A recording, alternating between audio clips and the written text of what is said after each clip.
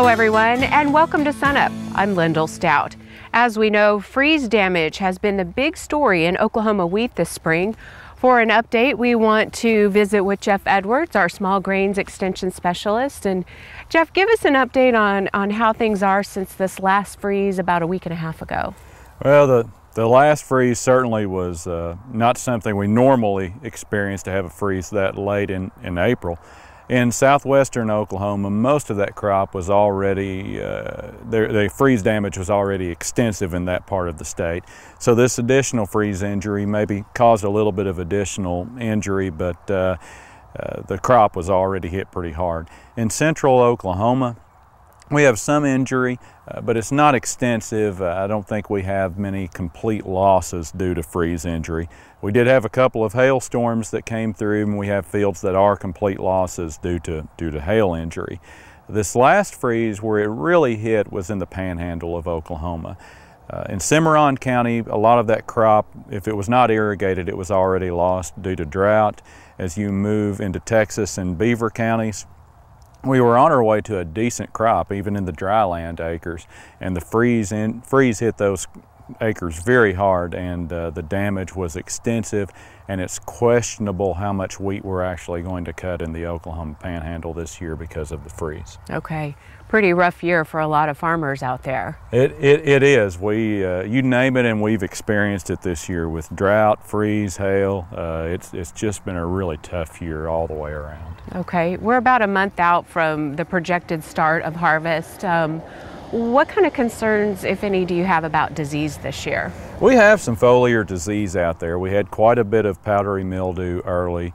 We've had stripe rust in the state, uh, maybe a little bit of leaf rust, but nothing has really exploded. Uh, for the past couple of years, we've had stripe rust that has just exploded in the state, and it just hasn't happened this year.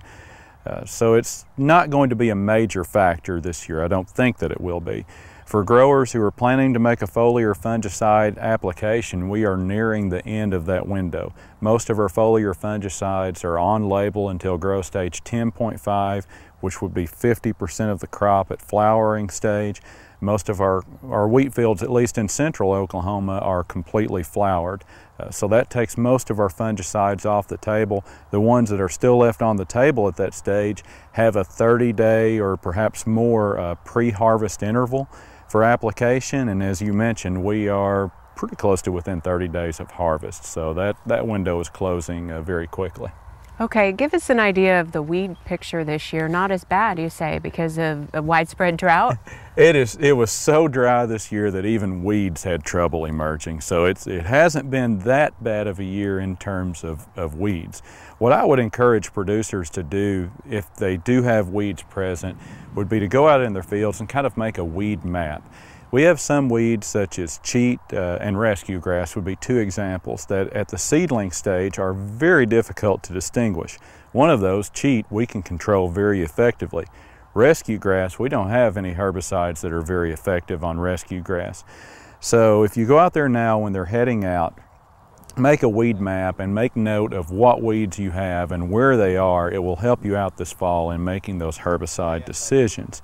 And also, if you have some weeds such as feral rye that are very difficult to control, it will help you make decisions on how to get a handle on, on weeds such as that. Okay, and one option, of course, is always crop rotation.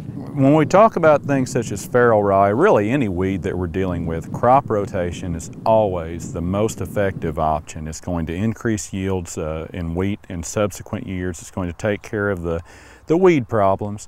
And my, my favorite crop rotation for most producers in Oklahoma is, is canola because of the way it fits into our system.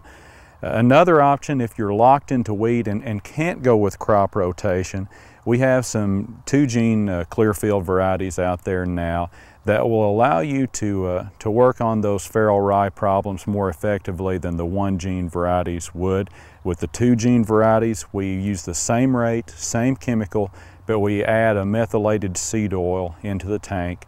Uh, it, it, penetrates the cuticle of the feral rye plant and gets more herbicide into the plant and is more effective at controlling feral rye uh, so with our two gene varieties, we have that option and uh, can work a lot harder on those feral rye infestations. Okay, and we can expect to hear more about those in the, in the weeks and months ahead? We can. There are uh, several things in, in, the works in terms of two gene Clearfield varieties. We have a few in the variety trial this year.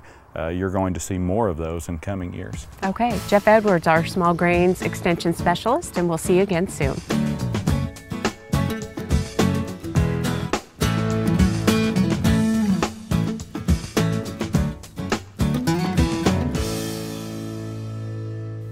Hi, I'm Al Sutherland with your Mesonet Weather Report. Our weather finally caught up with the calendar. This really jumps out by looking at a chart of air temperatures from last Thursday, May 2nd, through Wednesday, May 8th for Woodward, Oklahoma City West, and Durant. From last Thursday, May 2nd, through Sunday, May 5th, the daily highs for these widespread locations came in below 70 degrees. The lows for Woodward, Oklahoma City West, and Durant for these early days in May stayed below 40 degrees, climbed slowly into the 40 to 50 degree range, finally climbing into the 50s Tuesday, May 7th. Wednesday, May 8th, all three sites had highs over 80 degrees.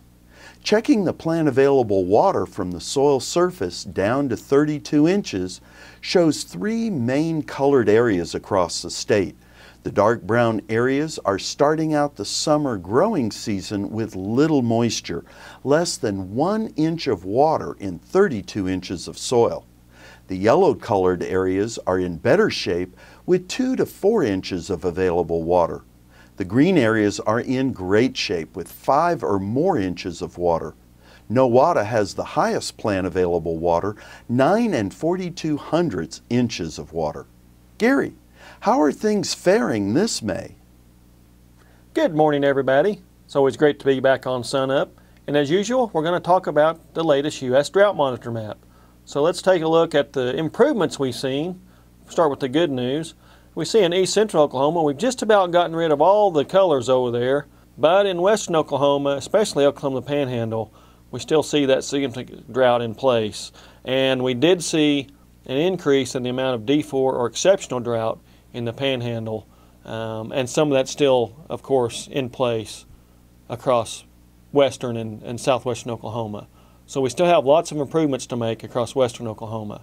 As an example of what folks in the far western panhandle are going through, I want to show you this picture that was sent to me from Baca County, Colorado. Now this is just across the border to the north. And here you see a dust storm uh, in mid-April approaching from the north to the Oklahoma Panhandle. So, you know, this is a picture straight out of the Dust Bowl. It's been great that we're getting the relief across east central, eastern, and central Oklahoma. But folks out west are still dealing with some pretty significant impacts. And so we really need to get that rainfall to shift to the west. Now let's zoom out and take a look at the wider picture on the U.S. Drought Monitor. As you can see from this national map, the drought has sort of switched characteristics in the past year. We've gone from a more central U.S. type of a drought from the Dakotas all the way down to Texas, and it's shifted farther to the west. So really, from the eastern sides of Oklahoma, Kansas, Nebraska, and the Dakotas, to the west of there, that's where the main body of the, the drought lies, and especially in the high plains of the United States. So as we've seen from the latest U.S. Drought Monitor report, we still need lots of rainfall across western parts of the state. It's fantastic that we've seen that relief in the eastern half of the state, but we have to remember what folks out west are going through. That's it for this time. We'll see you next time on the Mesonet Weather Report.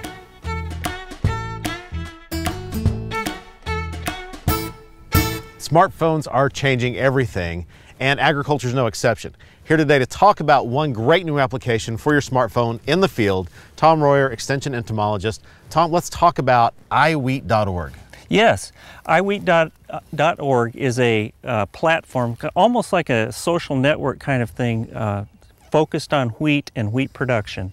And uh, we, we got uh, a grant from the USDA several years ago to develop this platform and it is designed to be a platform to work with for producers to use you know, use as a social network kind of all about wheat, anything about wheat.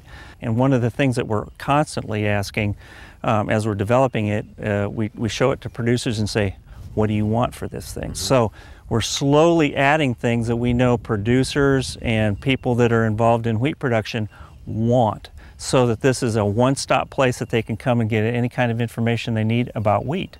All right. And one of the things, the tools it has right now is a way to sample your fields for some insects. Can you yes, tell us about that? Sure. Um, originally, we developed Glance and Go as a, sim a simpler way to uh, uh, sample for green bugs. iWheat's even made it simpler because it's all on a platform that we can access with our iPhone or, or smartphone, and we can literally go out in the field and sample and punch in the things that we're, as we're finding them, into the iPhone, and it will shoot that stuff to a place if we want to share it. It'll shoot that stuff um, to a, a, platform and make a map out of, you know, if there's green bugs happening in a certain area, it'll, it'll show, you know, on that map where they are if we choose to uh, sample it. If I want to have my own information, I have something called myiwheat.org that uh, is just the information that I have personally that I keep for myself and I can choose just like you would in Facebook or anything else to share some of it or not share okay. depending on what you want to do. Well let's let's see how it samples. Show okay. us the process. All right. It, it, works just the same as glance and go. Um, I go to a spot in the field and we'll just walk out here. I'll go to a spot and stop and then I'm required to uh, uh, pull up a tiller and examine it for green bugs and for mummies, okay. uh, the natural enemy. And so I just need to look at it. And if I find a green bug, for example, I can just punch the number where it says aphid and it will turn it green and um, say that you have an aphid. And then when I'm done with this stop, I just punch in continue and go to the next location and sample three more times. So now as we talk about the website, we're talking about green bugs and sampling, but now there are some reports in the news recently about some green bugs out there, maybe I guess in West Texas, yes. that are pesticide resistant. Yeah, they, uh, uh, a, a, colleague of mine, another extension entomologist, Dr. Ed Bynum, uh, discovered at least six different counties where green bugs that are resistant to chlorpyrifos, which is a commonly used aphicide. Um, it's it's uh, one of the you know main products is Lorsban. It's also known as Lorsban, but there's a lot of other uh, generic compounds that has that active ingredient this, uh, these green bugs are very resistant, up to 1,500 times more resistant than the, than the dose um, that you would normally use. And, and so that's of concern because when you have a situation like that, and uh, if you're a producer and you have a green bug problem and you go out and spray your field and you have a failure of control, uh, it's just going to allow, basically what you've done is taken out any natural enemies that were there which even frees up the green bugs more to be even more uh, able to increase in numbers.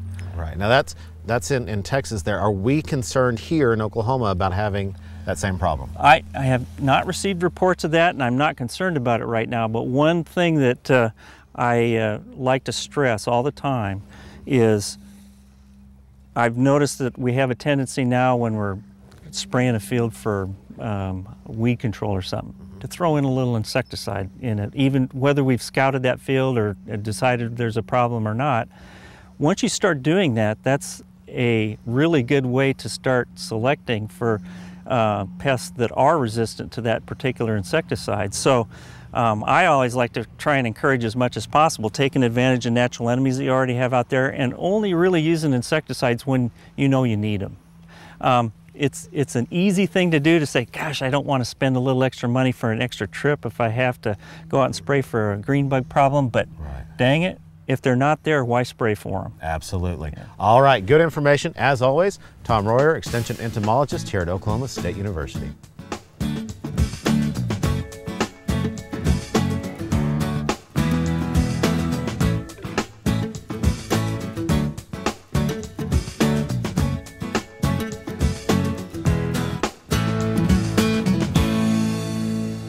One of the management strategies that we have for cow-calf operations that has a real chance to not only just be cost effective, but quite frankly profitable, is deworming of the cattle, especially in the early summer uh, as we go into the, the summer grazing season. Here at Oklahoma State University, we did a considerable number of trials on deworming strategies in cow-calf operations. We uh, actually conducted the experiments in eastern Oklahoma on some improved pastures that were really quite lush, well maintained, and in years where we had adequate rainfall. What we looked at was comparing deworming the cow only, deworming the calf only, or deworming both the cow and the calf. And these were done about the first week of June on spring-born calves. What we found was that if we dewormed the cow only, there was only an increase in weaning weights of the calf of about 15 pounds. If we dewormed the calf only, we got quite a considerable increase, and the weaning weight increase was 21 pounds for deworming the calf only. We got another four pounds increase in weaning weight by deworming both the cow and the calf. Now again, I want to stress that in this situation, there was adequate nutrition for those cattle and the cows were in excellent body condition. So we saw no particular advantage from the deworming of the cow in terms of cow performance. That might be a different situation for your operation if we've got some thinner cows going into this summertime period on some very, very short pastures. We might see a response from deworming in terms of cow performance.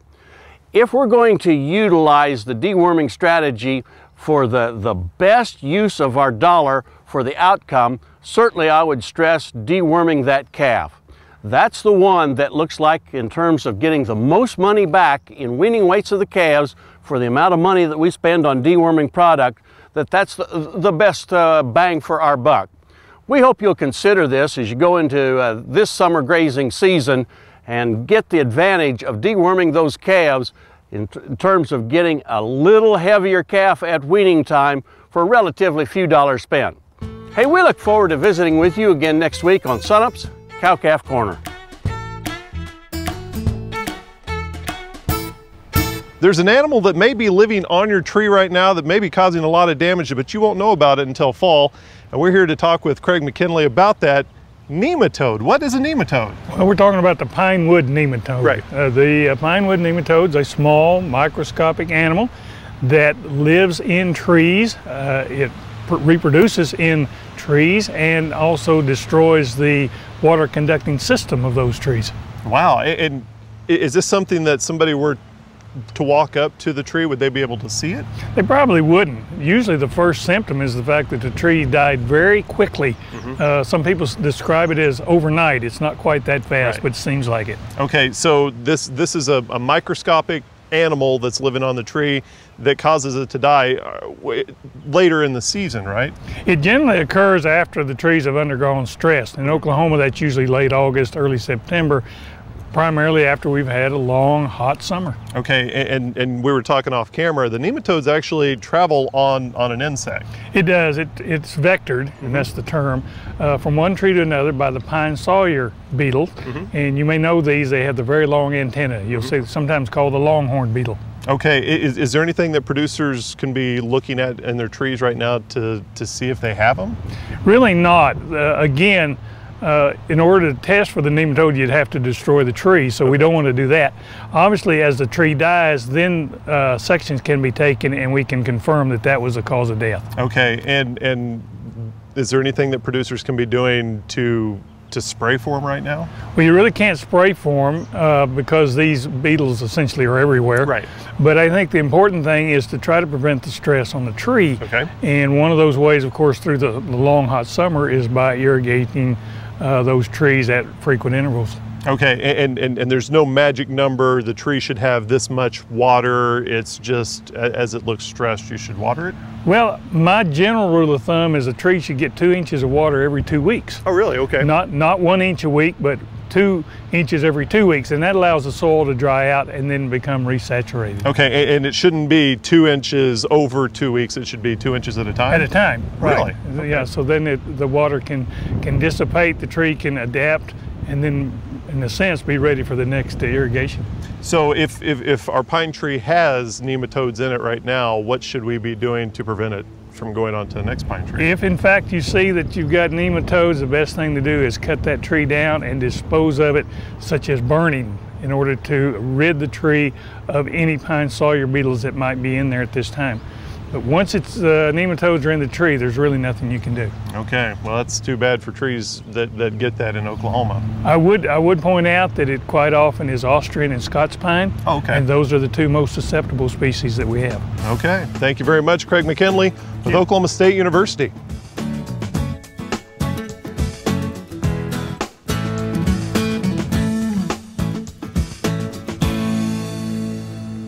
Anderson, our grain marketing specialist, joins us now. Kim, we talk about prices every week, but to truly understand the markets, it's important to sometimes get some historical perspective. So let's start with that. And we need to go back about five years when we had a definite shift in the markets.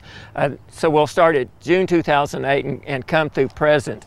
If you, we're going to use Medford, Oklahoma cash, daily cash prices, and if you'll look at the average cash price, it was $6.40 over the last five years. If you look at each day, an average daily move average is 11 and a half cents per day, and the maximum daily change was 64 cents. Okay, we're gearing up toward harvest, of course, in Oklahoma. Let's look at the history of harvest pricing. Okay, just looking at June prices, the monthly average prices, if you go back to uh, 2008, the average price in June was $8.19, but the range in prices was a $1.67 range from 722 to 889. If you go to 2009, the average price was 584 and the range was from $5.24 to $6.67, a $1.43 price move just in the month of June. 2010, prices were in the tank, $3.69 average, 339 to 391, only a 52 cent monthly price move. 2011, 787, range of $1.87 from 671 to 869. And then of course last year average price is 642 with the range of 599 to 716, a dollar and 17 cent price move. Okay, with these numbers in mind and this perspective, how should producers then sell their wheat? I think it's a clear strategy that you don't sell it all at once, that you stagger it throughout the market. So what you've got to do is sell it over time, third, third, and a third. Okay, that sums it up. Kim Anderson, thanks a lot. We'll see you next time.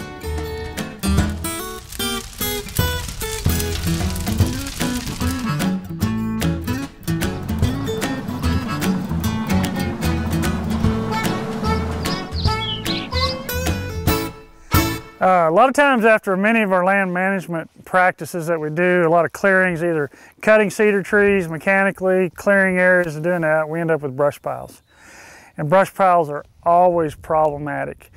Uh, if we look at the statistics for the southeastern U.S. at the cause of wildfires, typically 60, over 60% of all the wildfires that are caused in the southeastern U.S. are caused by brush pile burning.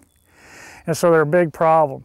And so kind of what I wanted to talk to you about was when is the best time of the year to burn brush piles and how can we do it safely and not cause such a problem. Uh, you know, a lot of times people think that the best time to burn a brush pile is when it snows and we have snow on the ground. But as we know here in Oklahoma, most of the time our snow just doesn't last very long and typically it's gone in a day or two. You know, we may go out and light the brush pile when it's snowing or right after it's snowed. And that brush pile continues to burn for several days, even weeks after you've lit it off and that snow's gone. And once that snow goes, leaves, the, the dry vegetation around it dries out pretty quickly and is flammable. And a lot of times once you get a big strong front coming through with high winds, blows those embers from that pile around and next thing you know, you've got an escaped fire from that brush pile. The best time of year that we have found to burn brush piles is typically late April, May, and June. Whenever stuff starts to really green up. Because when stuff starts to green up in that time of year, we typically have lower incidence of wildfire, less chances of spot fires and escapes because of the green vegetation. Not saying that things will not burn, but they typically burn a lot slower and it takes more heat to get something to, to, to burn. So things to think about when you burn brush piles are what is the weather going to be like today that you're going to burn them? Is, are the winds strong or is there any chance of a front coming through Then you also need to check the weather for the next day or the following couple of days to see what's coming because if there's going to be a big change in the weather with strong winds coming and predicted, I wouldn't burn those brush piles. It's good to have some type of fire suppression equipment available. So if you do have a problem, you can readily attack it, put it out. With any type of fire that you do, call the local fire department just to let them know. That's just a good common courtesy and a common practice. Call your neighbors, let them know what you're doing.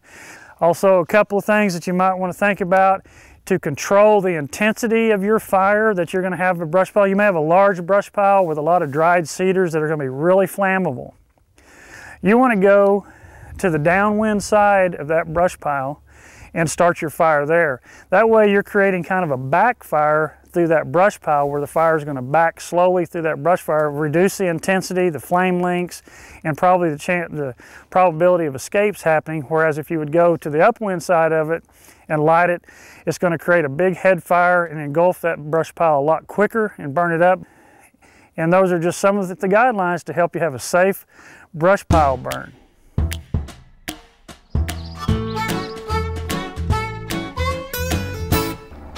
That does it for us this week. Remember, you can find us anytime on our website, sunup.okstate.edu.